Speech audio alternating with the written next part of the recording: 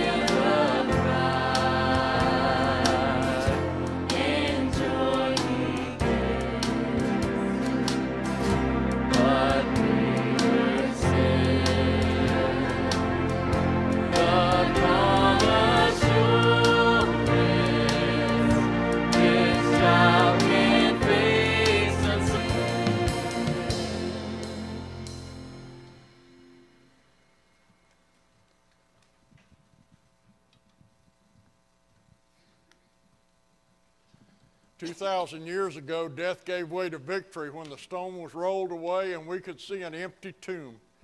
And our victory is in Jesus Christ. What a day to celebrate.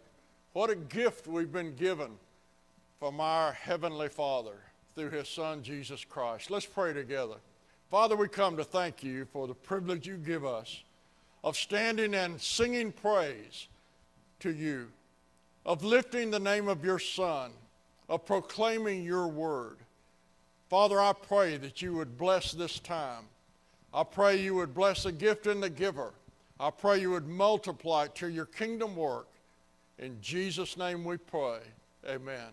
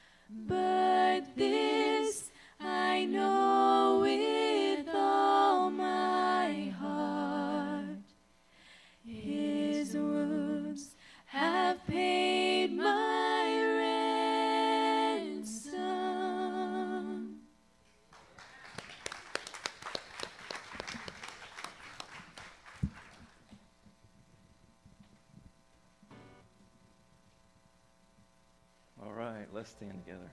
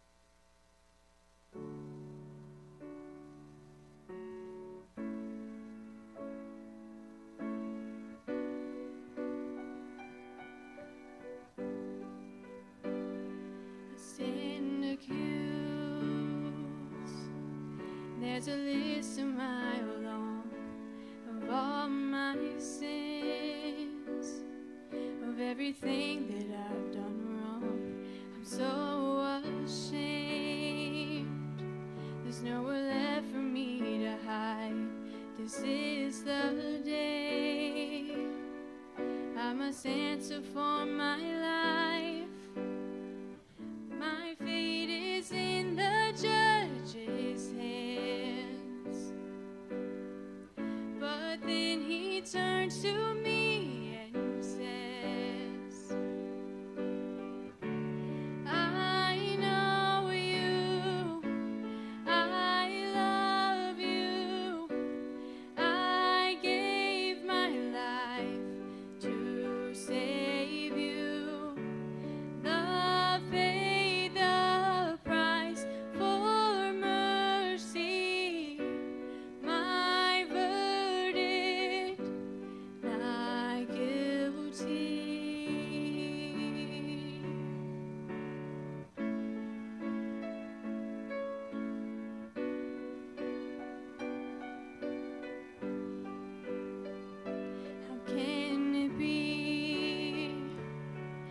Can't begin to comprehend what kind of grace would take the place for all my sins. I stand in awe now that I have been set free.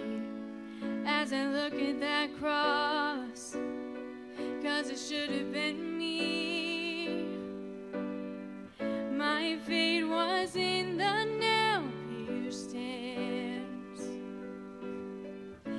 He stretched them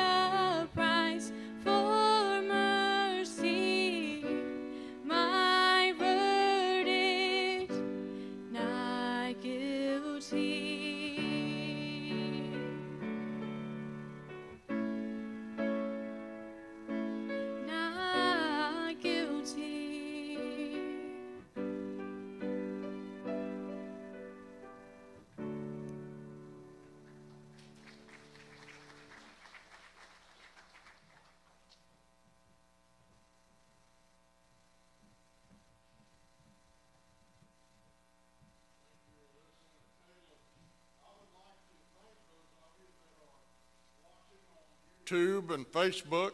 We uh, do appreciate it, and uh, especially appreciate the cards and the calls of encouragement.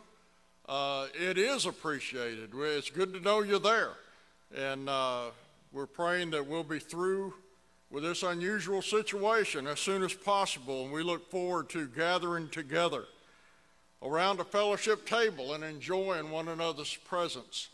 If you have your Bibles with you this morning, turn to Matthew chapter 28. 2,000 years ago, an event took place that changed our world, changed our destiny. Those of us that have accepted Jesus Christ have been given eternal life because of what Christ did 2,000 years ago. Now, please understand what I'm saying. It's not that Christ died on a cross. Many people died on a cross in that time and in that culture. But what is amazing and what is supernatural is that he conquered death. If Christ was still in the grave, you and I would have no hope. If Christ did not rise from the grave, you and I would be lost and have no possibility of heaven itself.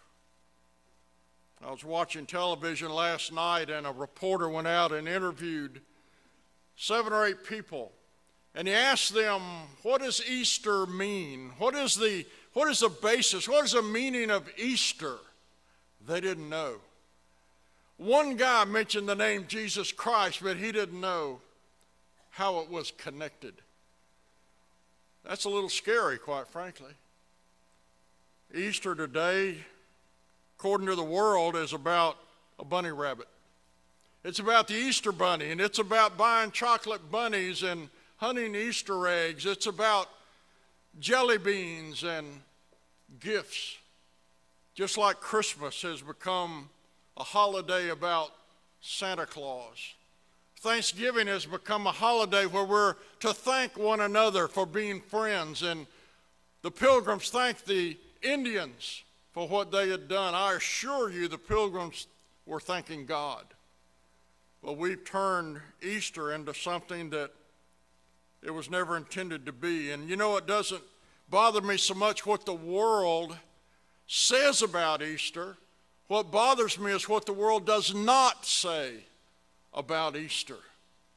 And it's a little scary and discouraging when we see people average people walking the street that don't even know what Easter means. It's just a, another holiday. I assure you it is so much more than that. There are four things that the world will not tell you about Easter that you should know, and I want to share with you this morning. But look with me first in Matthew chapter 28. If you have a Bible handy, follow along with me if you will. Matthew chapter 28, verse 1. In the end of the Sabbath, as it began to dawn toward the first day of the week, came Mary Magdalene and the other Mary to see the sepulchre. And behold, there was a great earthquake, and the angel of the Lord descended from heaven and came and rolled back the stone from the door and sat upon it. His countenance was like lightning, and his raiment white as snow. And for fear of him, the keepers did shake and became as dead men. And the angel answered and said unto the women, Fear not ye, for I know that ye seek Jesus, which was crucified. He is not here, for he is risen. As he said, Come and see the place where the Lord lay, and go quickly and tell his disciples that he is risen from the dead, and behold, he goeth before you into Galilee, and there shall ye see him. Lo, I have told you. And they departed quickly from the sepulchre with fear and great joy, and did run to bring his disciples word. And as they went to tell his disciples, behold, Jesus met them, saying, All hail! And they came and held him by the feet and worshiped him. Then Jesus said unto them, Be not afraid. Go tell my brethren that they go into Galilee, and there shall they see me. It's not a coincidence at the end of that passage, at the end of that same chapter, immediately after the resurrection, Jesus gives these instructions. He came unto them saying, All power is given unto me in heaven and in earth. Dunamis, like dynamite, all power in heaven and in earth. You and I cannot imagine all power. We can't comprehend, we can't take it into our mind all power. But Jesus said, All power is given to me in heaven and in earth. Now, the power of life itself, power over death itself, is given into the hands of the Son of God, Jesus Christ. All power is given unto me in heaven and in earth. Go ye therefore and teach all nations, baptizing them in the name of the Father and of the Son and of the Holy Ghost, teaching them to observe all things whatsoever I have commanded you, and lo, I am with you always, even unto the end of the world. That word world is eon in the Greek, and it means the end of time itself. There will never be a time that Christ is not with us. Now, think about that. That should be an encouraging thought. There'll never be a hardship. There'll never be a difficult time. There'll never be a, a time like right now that Christ is not here and aware and He cares. We serve a God that loves us. The first thing that the world will not tell you about Easter is the unfathomable price that was paid for Easter. Today, the world tells us that we should buy. Buy things, buy gifts, buy items, buy objects. That's what Easter is about. Merchandising. Easter is about giving gifts. Easter, Easter is about buying things. And any time, any Easter that I can remember, you go into a store, you'll find it's been merchandised just like Christmas, just like Thanksgiving. In fact, it's become just another holiday. But there's an unfathomable price that was paid, and it was paid 2,000 years ago. In the 51st Psalm, verse 5, it says, Behold, I was shapen in iniquity, and in sin did my mother conceive me. You were born with a sin nature, and a price had to be paid for that sin. They say, wait a minute, that sweet little innocent baby, you've heard me say before, yeah, that little baby was born with a sin nature. Just stick around for a while. Just hang around. You'll see it come out. Now, I believe in the age of recollection. I believe that a child is under God's hand and under God's protection till they reach a time where they can make a decision. But when we reach that age, we do make a decision. It is to sin. And we engage in sin. We blame Adam and Eve for original sin, but we do quite well on our own. The price that was paid on Easter 2,000 years ago was a price that Christ did not owe, but we did. It was a price for my sin and for your sin. It was a price that had to be paid because the wages of sin is death. But the gift of God is eternal life through Jesus Christ our Lord. There was an unfathomable price that was paid Sin is anything that displeases God. Murder displeases God. Stealing at any level, big or small, displeases God. Lying displeases God. Adultery displeases God. Impure thoughts displease God. Unforgiveness displeases God. Unjust anger displeases God. Disobedience to parents displeases God. Many other things displease God. Sin displeases God, and there is a price to pay, and Christ paid that price for the sins of mankind. It's hard to take it in. It's hard to fully understand it. I can't get my mind around the fact that I have a God that loves me enough to pay the price of my sin 2,000 years ago. At Calvary, we become debtors to God because of our sin. I was shapen in iniquity, and in sin did my mother conceive me. The logical conclusion is that we're the ones that should pay for our sin. Doesn't it make sense? And yet, because of God's great grace, His amazing grace, His amazing love, He paid the price so that we could realize our proper position of fellowship with Him. The world won't tell you about the unfathomable price that is paid at Easter. And the world won't tell you about the resurrection power of Easter. In Romans chapter 3, it says, For all have sinned and fall short of the glory of God. In John 3:16 it says for God so loved the world that he gave his only begotten son that whosoever believeth in him should not perish but have eternal life. How does that happen? How do we get to that point? How do we receive the gift of eternal life? We say, man, that's great. That's, that's amazing to me that God would love us that much. It's incredible to me to understand that I have a God that loves me so much. He would pay the ultimate price for me so I can fellowship with Him, so I can be forgiven of Him. The world won't tell you about resurrection power. There was a day when Christ was crucified and he was laid in a borrowed tomb, and the stone was rolled into its place, and it fell into place. And Satan thought he had won, and Caiaphas thought he had won, and Pilate thought he had won. That's the end of that.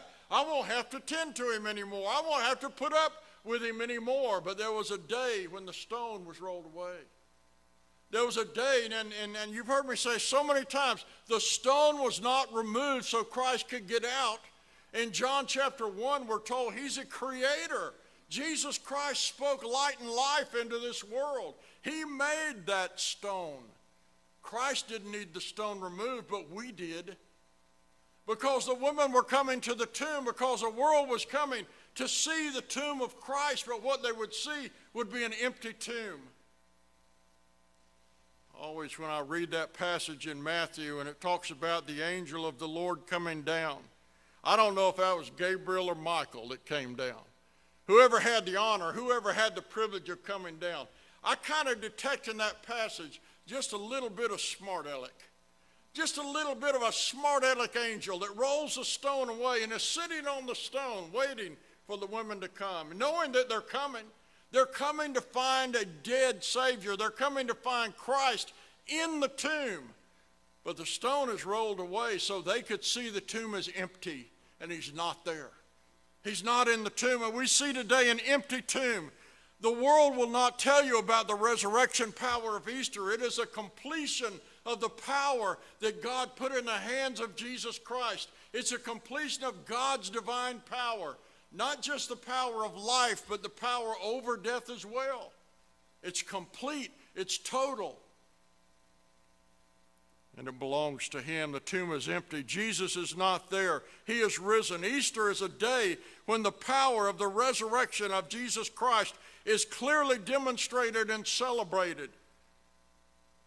For 40 days after the resurrection, Jesus appeared to his disciples, proving to him that he was indeed alive from the dead. He'd conquered death. There have been others that have risen from the dead. Jesus himself brought at least three people back from the dead, but they died. And he's still alive. We serve a risen Savior. The world will not tell you about the resurrection power of Easter. And the world will not tell you about the eternal promise of Easter. The promise of Easter is simply this Jesus is the first to be raised from the dead, but not the last. Because Jesus Christ has conquered death, I have the hope of eternal life. Because Jesus Christ has conquered death, you can have eternal life through him. He loves you that much. He cares for you that much. He cared enough for you to die in your place. And he conquered death so that you could live for eternity with him. The world won't tell you about the eternal promise of Easter. Through him, everyone will be raised from the dead, some to eternal life and some to eternal damnation. The choice is yours. The choice is Christ. Those that have placed their faith and their trust in Jesus Christ will be raised to spend eternity with him in heaven. The world won't tell you about the eternal promise of Easter, and the world won't tell you about the divine priority of Easter. Jesus has already paid the price for your sin. Easter can be expensive. I'll probably not mention I have two grandkids. We buy them stuff. We like, I enjoy buying them stuff.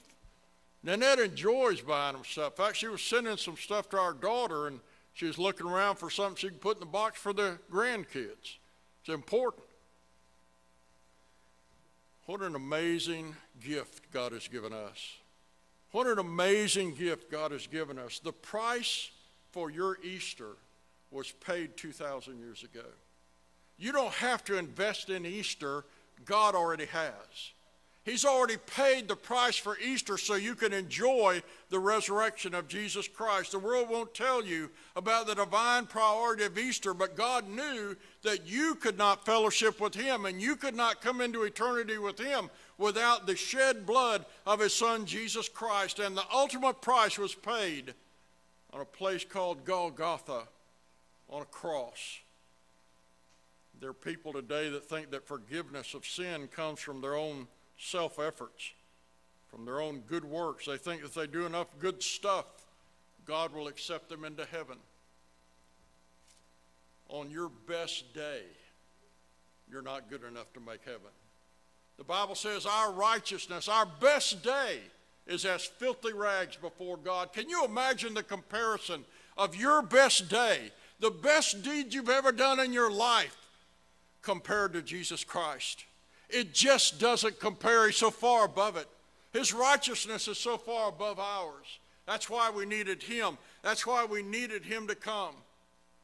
That's why he came and died. The priority of Easter is that you accept the gift that Jesus has already paid on the cross.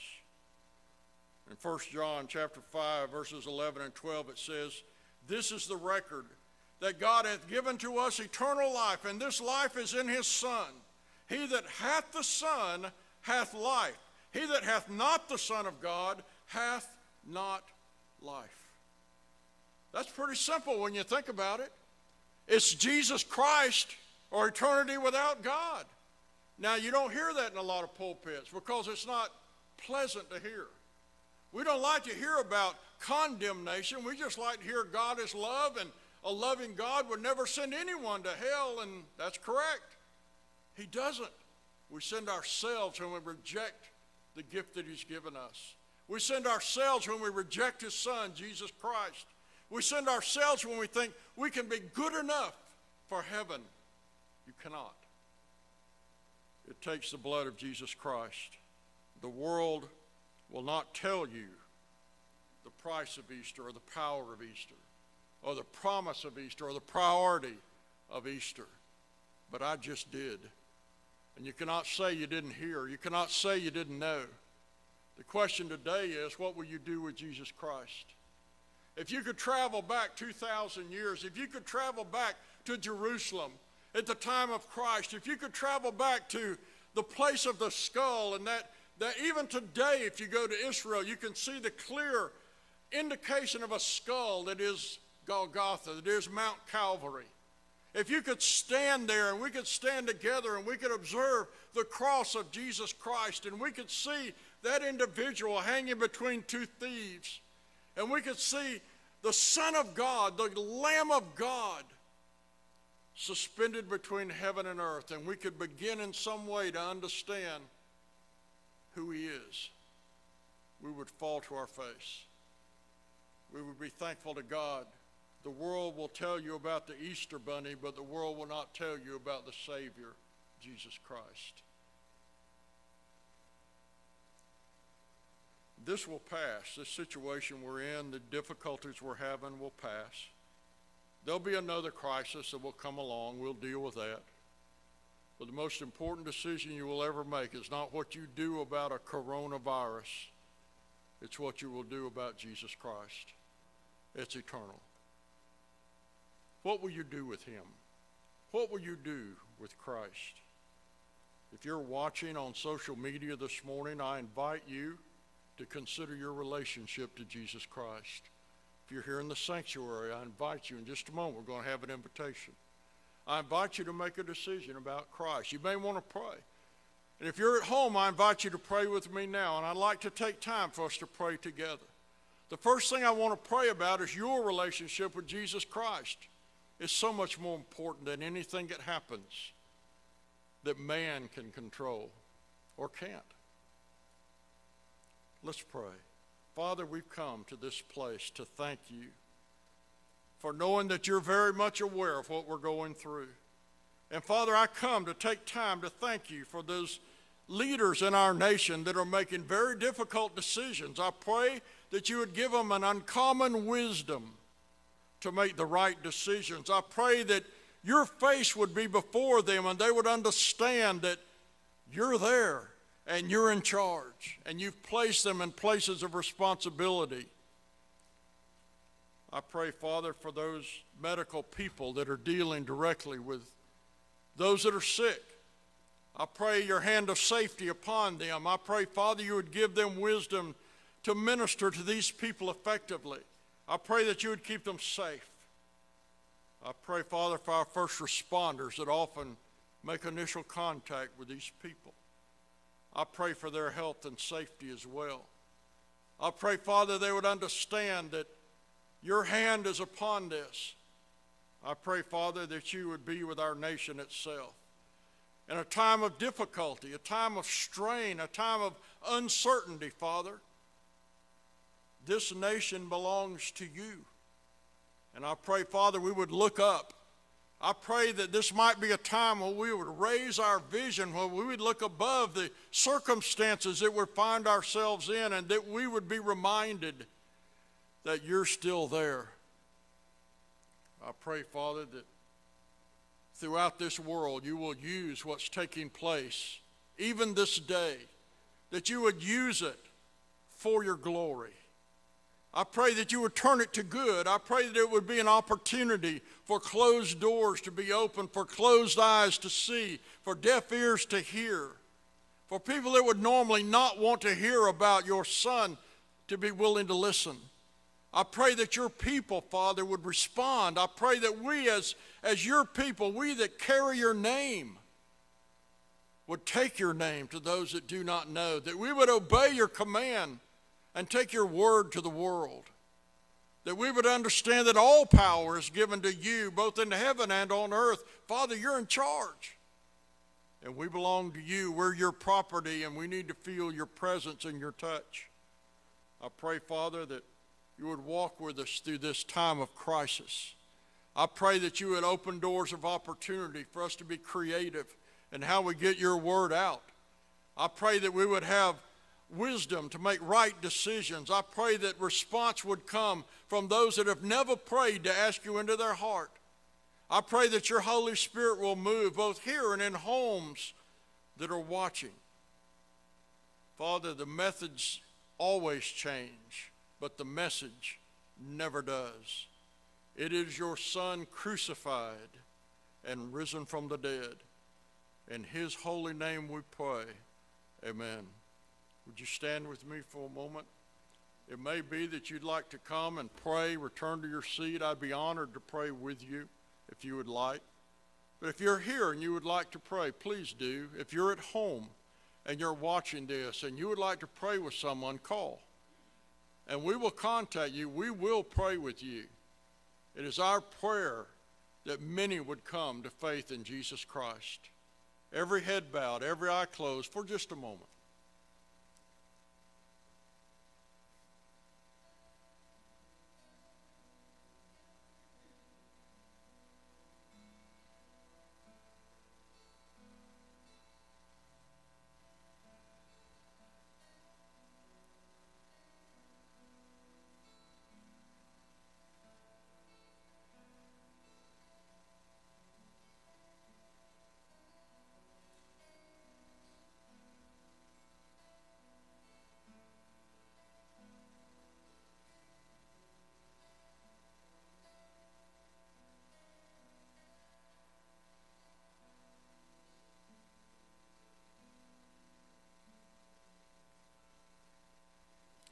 Father, I come this day and I pray that the words of my mouth and the meditations of my heart would be pleasing in your sight.